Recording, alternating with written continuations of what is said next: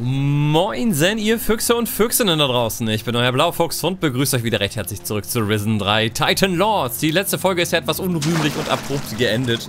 Aber wegen zwei Minuten, die noch über waren, habe ich mir jetzt gedacht, komm, ja, startst du jetzt nicht nochmal die zwei Minuten aufnehmen, das lohnt ja gar nicht. Da wären wir nochmal zum Boot geschwommen und dann wäre zu Ende gewesen. Deswegen äh, starten wir dann einfach direkt in die nächste Folge rein. Äh, ja, wir waren eigentlich schon bis auf das Bötchen geschwommen, aber dann äh, nach langer Zeit hat sich das Game mal wieder gedacht, oh, heute, heute mal nicht mehr mir. Ne? Das hatten wir aber echt schon lange nicht mehr, muss man sagen. Aber gut, passiert, ne? Da wollen wir nochmal. Schön war es ja auf dem Bötchen. Und so weit war der Weg auch nicht. Das können wir, können wir verknusen. Let's go.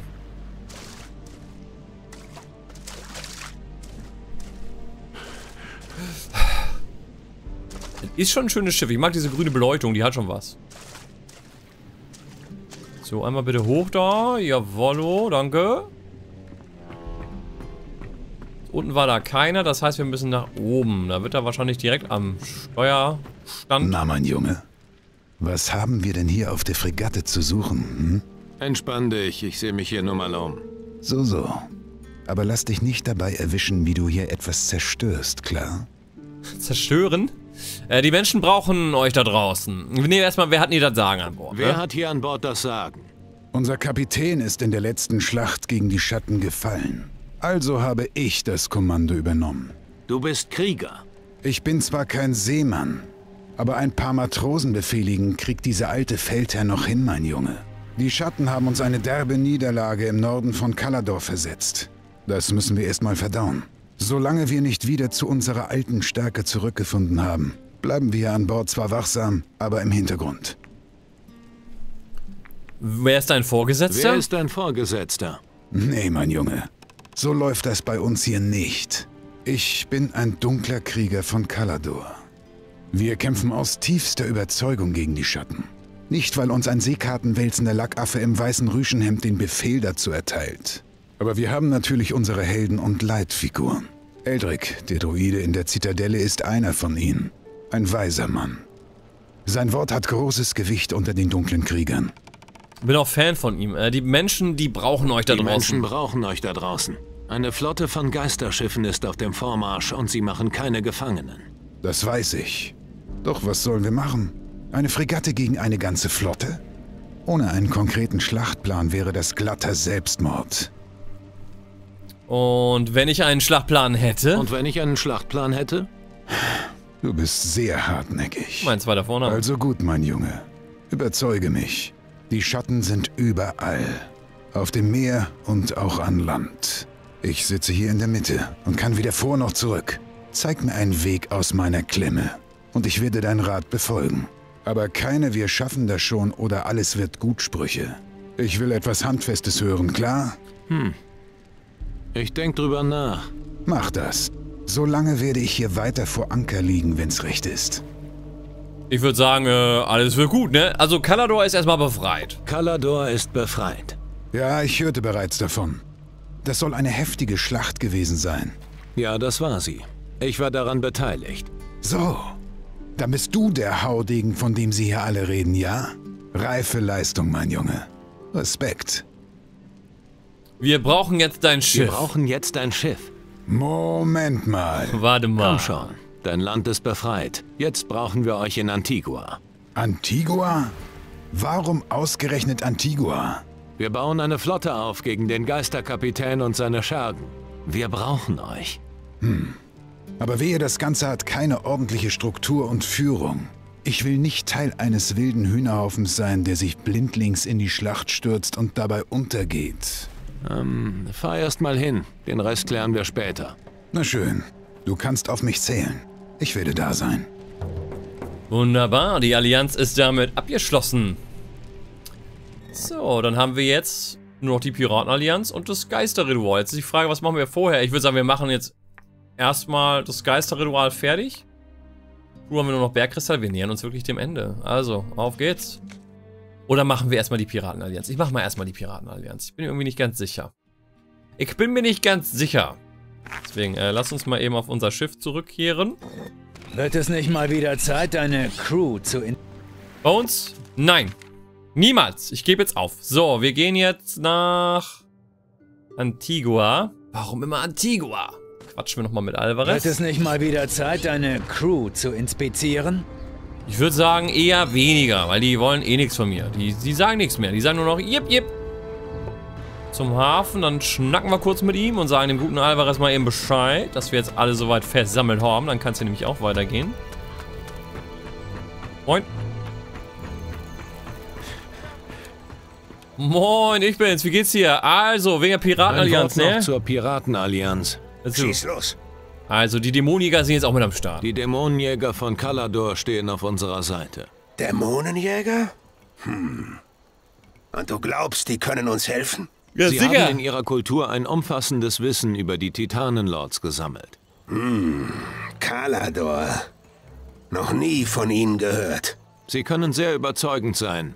Und sie haben starke Krieger. Gut. Wenn du sie für stark genug hältst, um unsere Sache voranzutreiben, dann sei es so. Hier hast du Gold für die Versorgung der Truppen auf der Dämonenjägerfregatte. So, haben wir jetzt nicht langsam mal genug Schiffe für unseren kleinen Angriff, oder was sagst du? Haben wir nicht langsam mal genug Schiffe im Hafen? Die Stadt quillt ja bald über. Eine stattliche Flotte hast du da. Soll mich der Teufel holen, wenn wir damit nicht etwas ausrichten können. Setzt eure Segel und stellt euch dem Kampf gegen Crow und seine Geisterschiffe. Dazu müsste ich erst wissen, wo ich Crow finden kann. Du hast schon schwierigere Dinge geschafft. Ich glaube an dich. Du bist nun der Anführer einer mächtigen Flotte. Du wirst sie in die Schlacht führen. In einen Kampf auf Leben und Tod. Viel Glück, mein Junge. Dankeschön, also, das geht dann jetzt hier wohl erstmal nicht weiter. Dann geht's jetzt wirklich auf nach Kieler. Das Geisterritual. Los geht's. Zurück zum Schiff und ab nach Kieler. Kieler, Kieler, Kieler. Dahin. Alter, Leute. Komm mit bei Komm uns. mit. Sicher. Sicher. Wo müssen wir denn hin? Wir treffen uns hier unten. Ja, dann mache ich mal eben hier. Hier unten hat sich das Schattengezücht also verkrochen. Schön verborgen vor allen Blicken. Schattengezücht ist auch ein schöner Name, ne? Wo geht das denn jetzt hier raus? Da lang. Ja, hier ist das Schattengezücht, ne? Schön im, im Dunkeln. Verborgen und einsam allein. Fernab neugieriger Blicke. Uah. Oh, ich mag die Soundeffekte. Das ist einfach nur herrlich. So, seid ihr alle bereit? Wo ist denn der gute Eldrick? Sag rein. So, wir sind fast soweit, mein Freund. Nun werden wir das Ritual beginnen. Bist du bereit? Nein, aber fang schon mal an. Ich habe eh keine andere Wahl. Das wird schon, mein Junge. Stell dich in die Mitte. Gleich ist es soweit. Wir haben uns heute zusammengefunden, um den Geist dieses bemitleidenswerten Geschöpfes. Jetzt mach schon. Gut, du hast schon zu lange gewartet. Lass uns mit der Zeremonie beginnen. Halt still, mein Freund. Negrui mortar delirium ignaro elagon. Wir rufen dich, Geist. Höre unseren Ruf. Ignaro Elagon. Ignaro Elagon.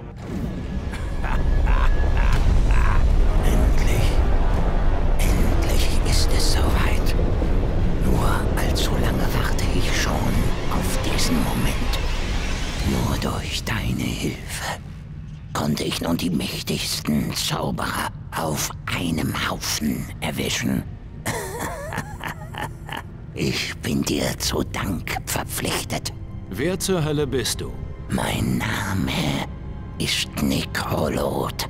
Ich bin der, der dich begleitet. Und das schon seit langer Zeit. Ich war da an dem Tag, an dem dein Leben entschwand. Ich werde da sein, wenn es sich wieder mit dir vereint. Und wer genau bist du? Verschwinde, du Idiot!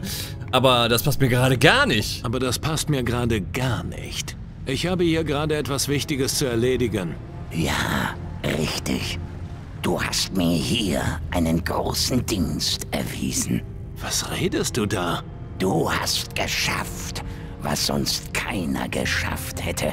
Du hast die größten drei Zauberer der Südsee an diesen Ort gebracht. Jetzt musste ich sie nur noch pflücken, wie eine reife Frucht. Beachtliche Leistung. Wenn man bedenkt, dass du eigentlich nur noch eine leere Hülle bist. Was hast du mit ihnen gemacht? Was hast du mit ihnen gemacht?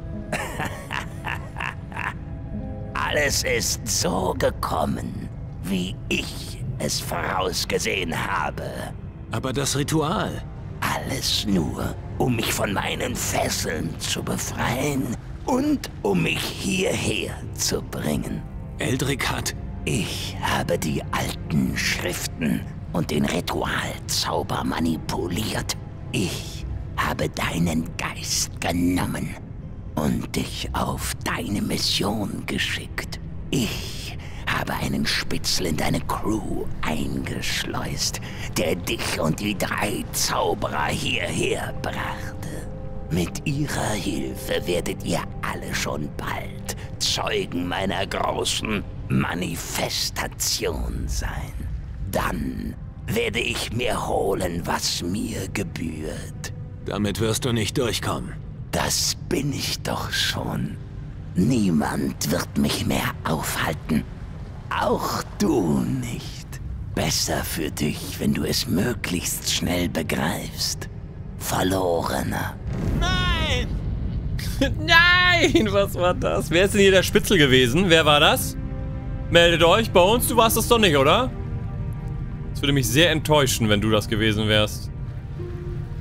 Ja, das war wieder richtig scheiße gelaufen, ne? Kapitel 4, Nekrolot. Lülülü.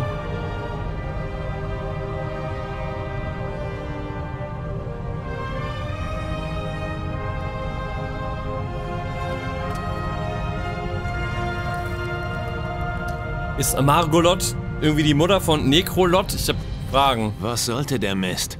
Was ist da schiefgelaufen? Ich habe getan, was du von mir verlangt hast. Ach ja? Ich dachte, du schirmst deine Höhle gegen Angriffe von außen ab? Du hast deinen Feind über meinen Schild gelassen, kleiner Mensch. Deine Zauberer führten deinen Zauber aus, der Nekrolot herbeirief. Gegen etwas, was von innen kommt, ist mein Schild machtlos. Das ist großer Mist. Aber es ist dein Problem. Mach es nicht zu meinem. Tja, Boss. Ist umgelaufen, aber hey, es hätte schlimmer kommen können. Ach ja? Immerhin lebst du noch. Bist du der Verräter in meiner Crew? Hast du diesem Dämon Nekrolot zugespielt? Nein, aber ich habe einen Verdacht, wer es war. Wer? Ich habe Horas des Öfteren nachts heimlich von Bord schleichen sehen.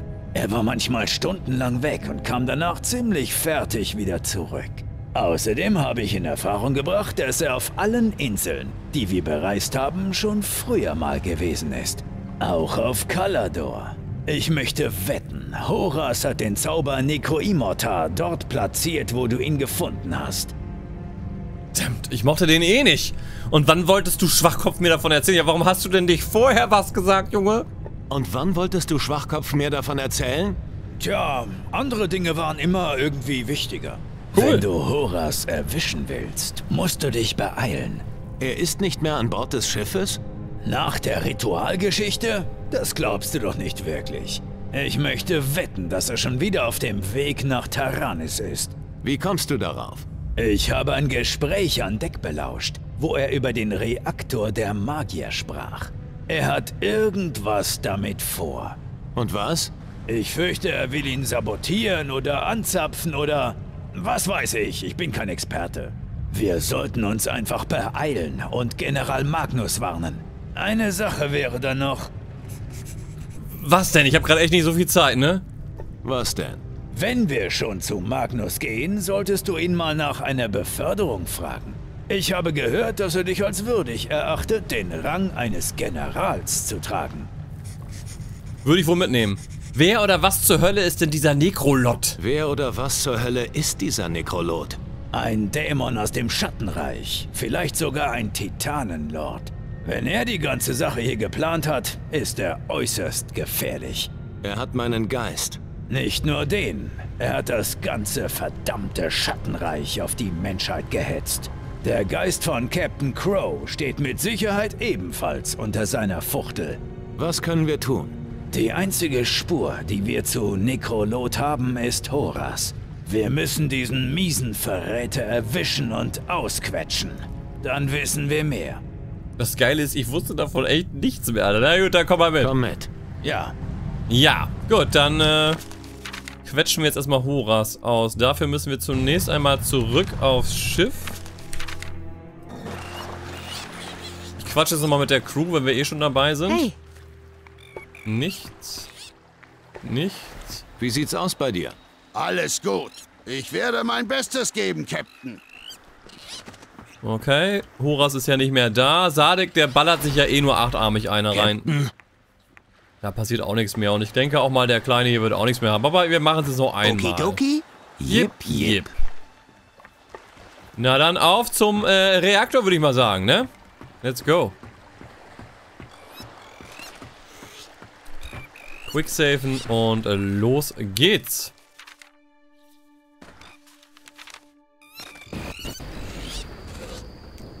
Bones, komm mit. Komm mit. sicher. Dann, alter Glanz. Bones hat dir gerade gerade mit mir wieder blicken zu lassen, den letzten Rang aufzusteigen. Machen wir das doch mal, wenn wir eh dabei sind. Du, du, du. Let's go. Dann werden wir endlich General Bergfrühling. Das wollte ich sowieso die ganze Zeit schon werden. Endlich wird es, wird es um uns herum immer frisch und fröhlich duften. So, auf geht's. Moin. Denkt dran, nicht mit Schuhen reingehen, sonst gibt's Ärger. LAG gibt das dann. So, dann schnacken wir mal mit ihm. Wie sieht das aus mit so einer Beförderung? Wenks Beförderung? Ich frage einen Freund. Magnus! So, äh, bin ich bereit, befördert zu werden? Fra frag einfach nur. Bin ich bereit, befördert zu werden? Lass mich überlegen. Hm. Du hast wirklich einiges für unsere Gemeinschaft getan. Und angesichts der Umstände, in denen wir gerade stecken, können wir einen weiteren General gut gebrauchen. Ich denke, ja, du bist bereit. Gehe zu Gordon. Er soll dir eine Generalsrüstung überreichen.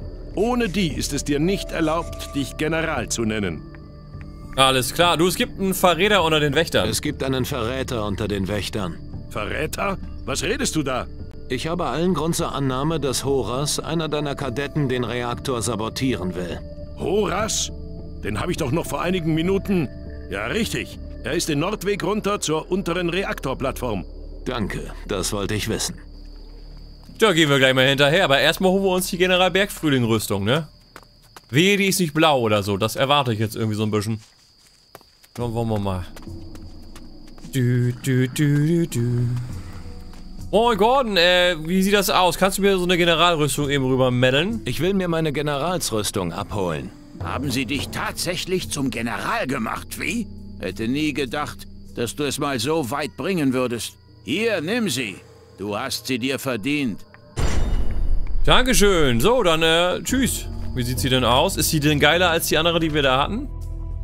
Körper, Generalsrüstung 25, 25. Die schwere Rüstung ist tatsächlich bei Magie sicher noch einen Ticken besser, aber da die nicht so gut passt, lassen wir das mal eben, ne? Lassen wir das mal sein. Beim Kopf könnten wir natürlich jetzt noch den schweren Helm nehmen, aber auch das einfach nur für die Optik. Lassen wir das mal einfach so. Wir laufen jetzt hier schön als General rum. So lobe ich mir das. So, dann machen wir uns mal auf. Nach unten zu unserem kleinen Verräter, ne? Los geht's. Hier wird sich ein bisschen Staub abgeklopft. Gönnt ihr? Tja, verrückt. Den Twist habe ich echt nicht kommen sehen, muss ich wirklich sagen. Und ich habe es ja schon mal so weit gespielt, aber wusste ich nichts mehr von. Ja, wusste ich nichts mehr von. Dass wir da so ein Ja-Hahn ist so gut. Oh, scheiße, jetzt bin ich auch noch in die Cutscene reingelatscht. Hahn, warten Sie mal kurz. Oh, du kommst zu spät. Es hat bereits begonnen.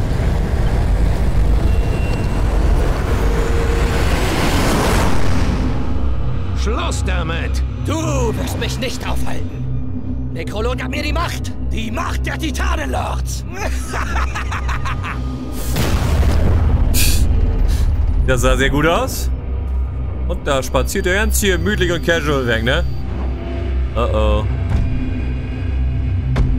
Ja, das sieht nicht so gut aus.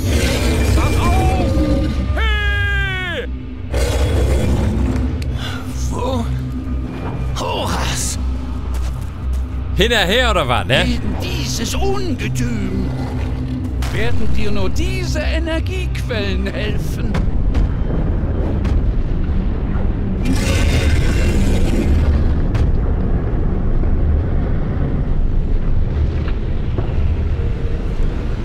Ja, geil. Meine Lieben, wir machen jetzt, ich weiß, das ist richtig fies, aber wir machen jetzt trotzdem kurz einen Break, denn ich muss aufs Klo.